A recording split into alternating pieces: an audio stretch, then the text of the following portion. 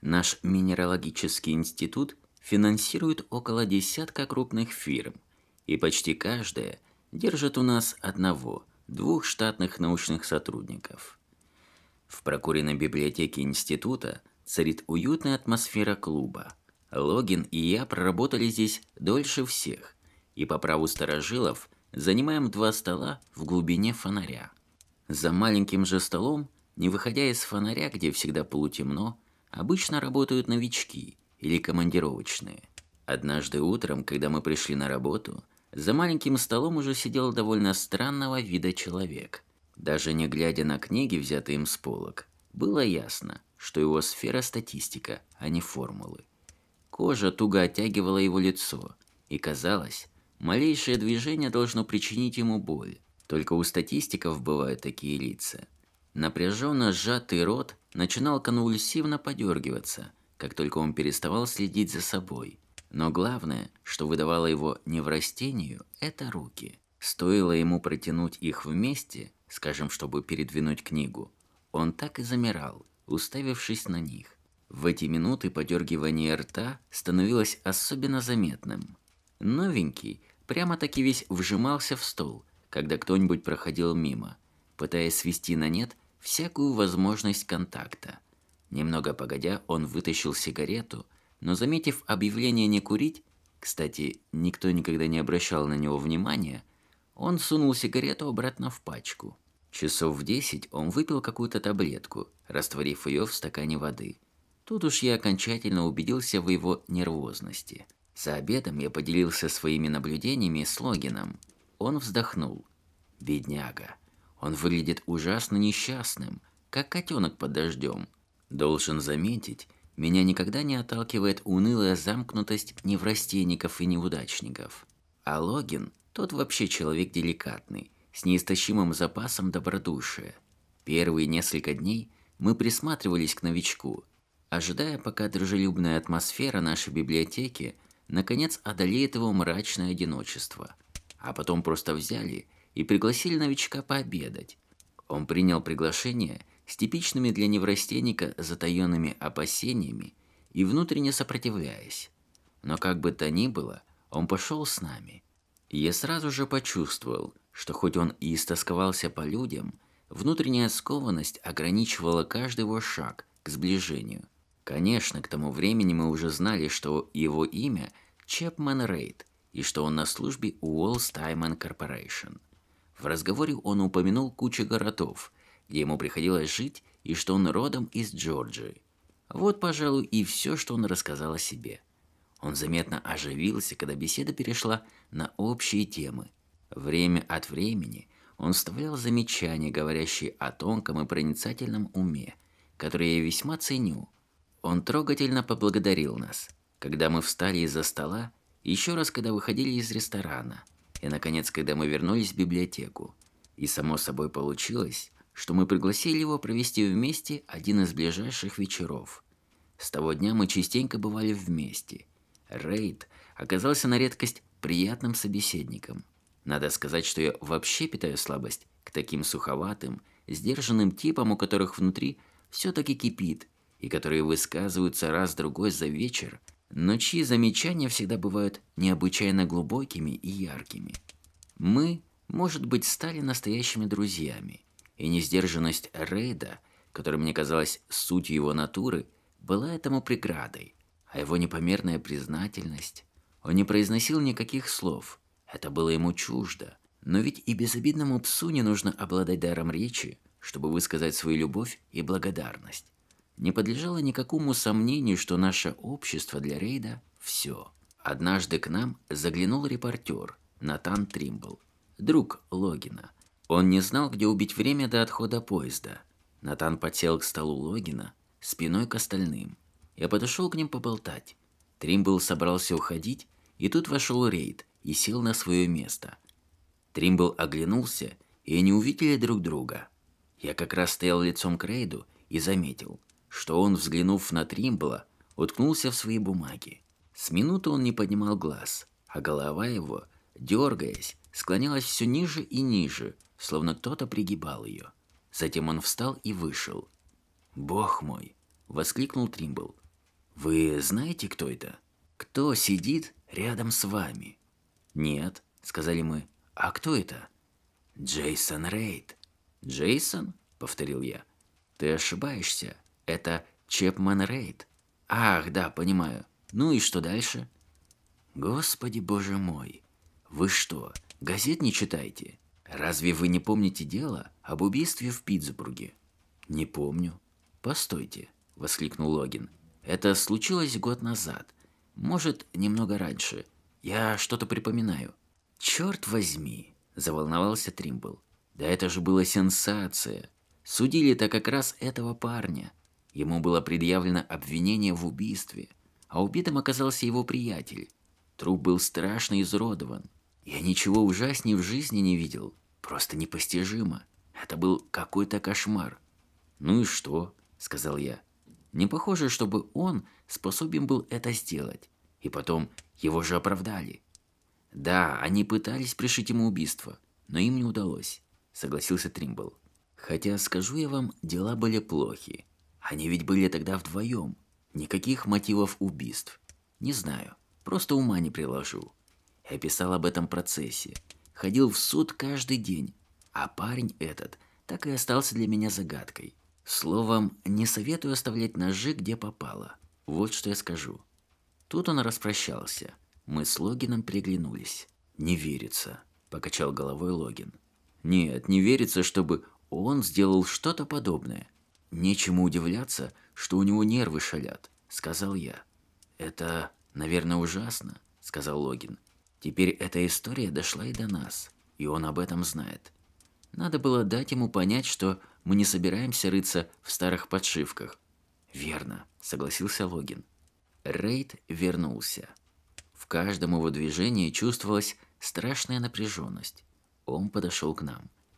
«Не пообедать ли нам на прощание вместе?» – спросил он. «Так будет лучше.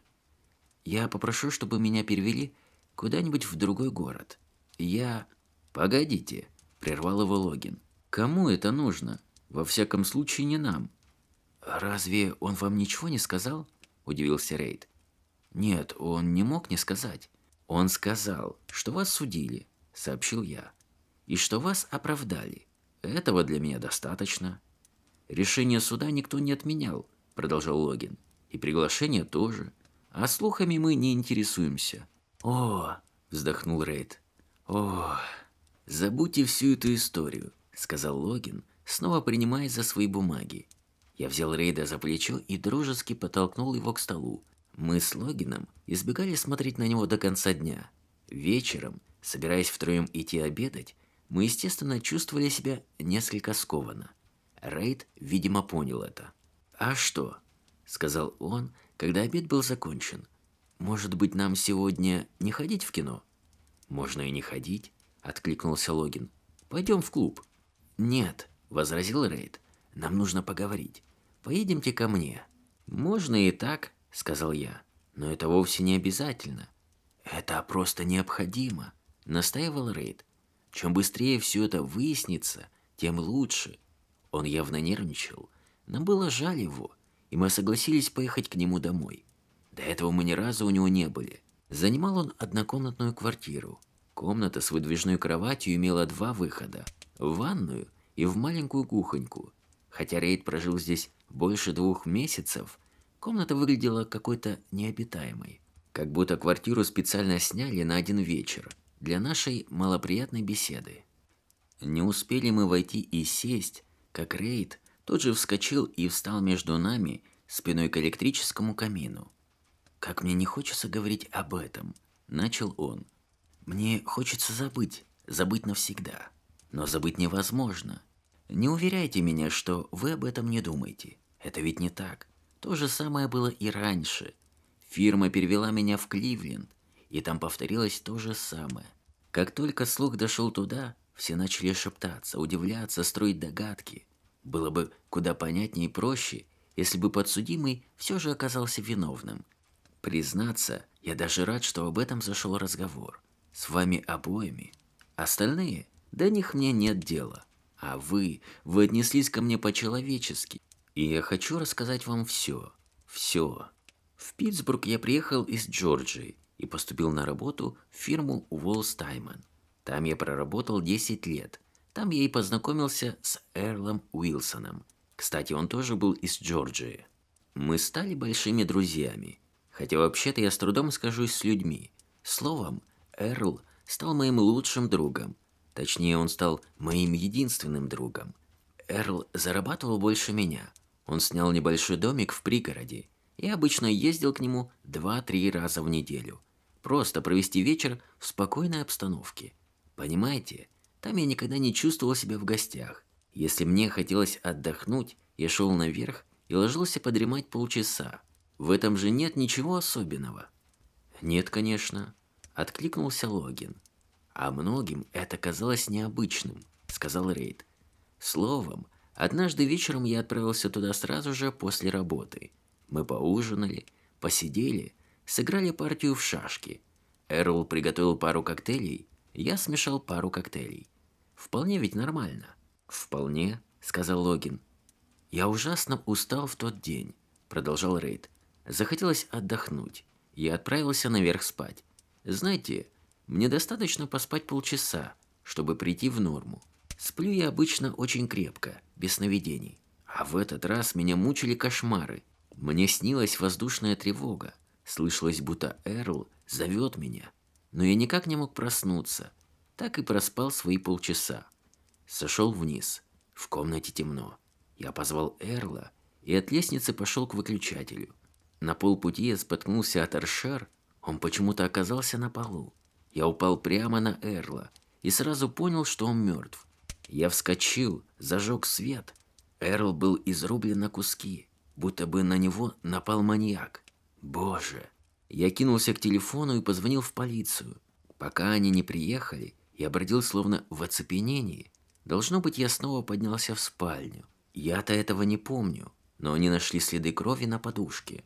Что ж тут удивительного? Я был весь в крови, с головы до ног. Я же упал на него. Бывает же такое, что человек настолько потрясен, что даже не помнит, где он. Конечно, сказал Логин. Конечно, бывает, сказал я. Но они-то решили, что я на этом попался. Они мне так прямо об этом и заявили. Идиоты. Еще до прихода полиции я все осмотрел и понял, чем его убили. У Эрла на кухне был целый набор ножей. Одно из отделений фирмы занимается производством ножей и режущих инструментов. В наборе был большой нож, как в лавке мясника. И вот этот нож лежал на ковре. Ну, вот появилась полиция. Я рассказал им все, что знал. Эрл был тихим парнем. У него не было, не могло быть врагов. Убийцей мог быть только сумасшедший. В доме ничего не пропало, грабежом и не пахло. Но кто бы ни был убийца, он сумел удрать, не оставив никаких следов. Чисто сработал. Никто ничего не смог обнаружить, ни полиция, ни я. У полиции разработана целая система, чтобы найти отпечатки пальцев. Я не буду утомлять вас всякими техническими подробностями. Дело в том, что их технология недостаточно совершенна. Тот парень оказался для них слишком опытным, но им, конечно, надо было кого-то арестовать. И они арестовали меня. У полиции не было абсолютно никаких доказательств моей вины. Бог знает, на что они надеялись, пытаясь меня уличить. Возможно, что они и сами понимали шаткость своих предположений. Разве можно доказательно построить обвинение, основываясь на одной интуиции? Но меня спасло только то, что присяжные не смогли прийти к единогласному решению относительно моей виновности. Но полиция и этому была рада. Не могли же они расписаться в собственной бесполезности, признав, что не найдено ни единого следа подлинного убийцы. На чем же они строили обвинение? На том, что им не удалось найти убийцу. А что это доказывало? Их собственную беспомощность. Разве может человек убить своего лучшего друга просто так, без всякой причины? Они не нашли ни повода, ни причины. Конечно, сначала они решили, что тут замешана женщина. У них же интеллект на уровне грошового журнальчика. Они прочесали наши денежные дела. Они даже пытались подвести политическую подоплеку. Бог мой, если бы вы только знали, что значит встретиться в настоящей жизни лицом к лицу с персонажами из комиксов. у которых у Мишка подстать рожа. Послушайте, это невероятно. Но если и вас когда-нибудь обвинят в убийстве, сразу же суйте голову в петлю. Когда уж все было исчерпано, они решили разобраться в нашей партии в шашки. В этой несчастной, безобидной партии. Пока мы с Эрлом играли эту партию, мы все время болтали и зачастую забывали, чей следующий ход. Есть на свете чудаки, которые способны впасть в неистовство из-за детской игры. Но для меня, клянусь вам, это просто абсурд. А вы-то можете себе представить, чтобы кто-нибудь мог убить своего лучшего друга из-за игры? Я не могу. Кстати, насколько я помню, мы начали играть дважды. Сначала, когда Эрл приготовил коктейль, и потом, когда я готовил коктейль. Мы каждый раз забывали чей ход, и все-таки они решили разобраться. Им же нужно было найти хоть какое-то подобие мотива, а прицепиться было больше не к чему. Мой адвокат, конечно же, сразу разбил их доводы. Слава богу, в то время буквально весь завод играл в шашки в обеденный перерыв. И сразу же нашлось 10 свидетелей, которые поклялись, что ни я, ни Эрл никогда не играли всерьез, а не то, чтобы впасть в азарт и потерять голову. У них не было ни единой зацепки, ни одной. И Эрл, и я жили просто, обычно, скучно, на виду у всех. Что они могли мне поставить в вину? Ничего. Они доказали лишний раз свою полную непригодность, не сумев обнаружить и представить того, за что им, собственно, денежки платят. Тем не менее, они решились послать человека на смерть. Как вам это нравится? Звучит кошмарно, сказал я. Да, подхватил он со страстью. Именно кошмарно, точнее не скажешь. Но они получили то, чего добивались. Девять против трех присяжных проголосовали за оправдательный приговор. Этим только полиция и спасла свою репутацию. Обвинение не было снято полностью, и можно было строить догадки и предположения. А главное, им удалось создать впечатление, что все это время они были на правильном пути. Вам легко представить, во что превратилась моя жизнь с тех пор. Друзья, поверьте мне, если случится вам попасть в такую заварушку, в первую же ночь суньте голову в петлю. Не говорите так, перебил его Логин. Верно, вам досталось, чертовски досталось. Но теперь какого дьявола? Все позади, вы здесь, с нами, продолжил я. Если вам от этого легче, Легче, заволновался Рейд. Вы даже себе не можете представить, что для меня значит ваше общество. Я, наверное, никогда не смогу до конца выразить вам свою признательность. Бог мой, да что же это со мной? Нечего сказать. Хорош. Затащил сюда единственных людей, которые сердечно отнеслись ко мне, изливая душу и не предложу даже выпить. Но ничего, сейчас я вам кое-что приготовлю. Уж этот-то напиток вам придется по вкусу. Я бы не прочь пропустить стаканчик виски, заметил Логин. У меня есть кое-что получше, сказал Рейд, направляясь в кухню. У нас в Джорджии есть нечто свое, совершенно особенное. Надо только как следует смешать. Минуточку. Он исчез в дверях, и мы услышали хлопки вытаскиваемых пробок, бульканье и треск смесителя. Он продолжал разговаривать с нами через дверь. Я чертовски рад, что затащил вас к себе. Рад, что излил вам душу. Если бы вы только знали, что это значит, когда вам верят, когда вас понимают. Видит Бог, вы вернули меня к жизни.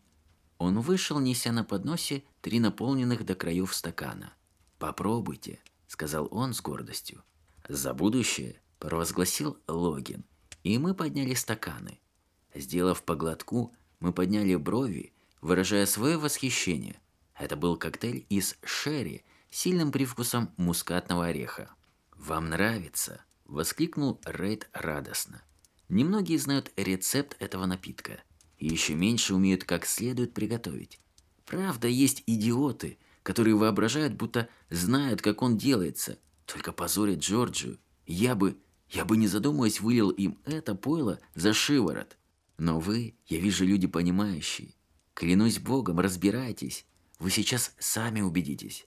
Он бросился в кухню и загремел бутылками еще громче, продолжая бессвязно толковать с нами, то восхваляя свой единственно правильный рецепт, то понося последними словами все поделки.